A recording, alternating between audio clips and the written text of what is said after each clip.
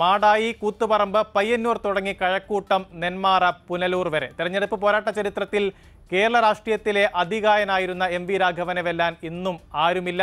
പത്ത് തവണ മത്സരിച്ചതിൽ പത്തും വെവ്വേറെ മണ്ഡലങ്ങളിലായിരുന്നു എം വി ആർ. ഓടിച്ചാടി നടന്നുള്ള ഈ മത്സരത്തിന്റെ കാരണം എന്തായിരുന്നു എന്ന് എം വി ആർ തന്നെ ഒരിക്കൽ മനസ്സ് തുറന്നിട്ടുമുണ്ട്. കാണാം സമാനതകളില്ലാത്ത പോരാട്ട ചരിത്രം.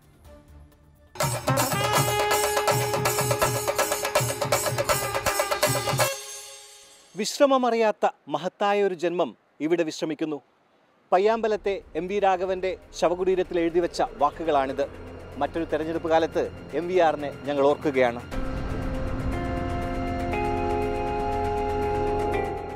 മലബാറിൽ പാർട്ടിയെ കെട്ടിപ്പടുക്കാൻ ഏറെ പണിപ്പെട്ട രാഘവന് ഒരു കാലത്ത് കണ്ണൂരിൽ എതിർവാക്കുണ്ടായിരുന്നില്ല.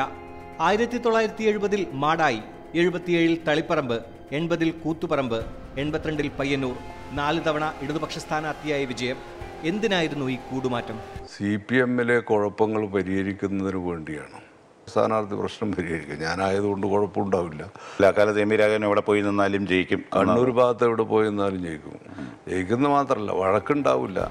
ആയിരത്തി തൊള്ളായിരത്തി എൺപത്തിയാറിൽ ബദൽ രേഖയുടെ പേരിൽ സി പി എം പുറത്താക്കിയപ്പോൾ മറ്റു പലരെയും പോലെ രാഷ്ട്രീയ വനവാസത്തിന് എം വി ആർ തയ്യാറായില്ല. ജീവിതത്തിന്റെ ഭൂരിഭാഗവും ഇതിനു വേണ്ടി ദുരിതം അനുഭവിച്ച് അവസാനം പുറത്തു പോയിട്ട് ഫൈറ്റ് ചെയ്യാന്ന് പറഞ്ഞാൽ ദുഃഖകരമായിട്ടുള്ളൊരു സ്ഥിതിയാണ് പക്ഷേ ഫൈറ്റ് ചെയ്യാണ്ട് നിർവാഹമില്ല ഞാനൊരു പൊളിറ്റീഷ്യനാണ് കുഞ്ഞിക്കണ്ണല്ല ഞാൻ. എൺപത്തിയേഴിൽ അഴീക്കോടും തൊണ്ണൂറ്റിയൊന്നിൽ കഴക്കൂട്ടത്തും രണ്ടായിരത്തിയൊന്നിൽ തിരുവനന്തപുരം വെസ്റ്റിലും യു ഡി എഫ് മുന്നണിയിൽ വിജയിച്ചു.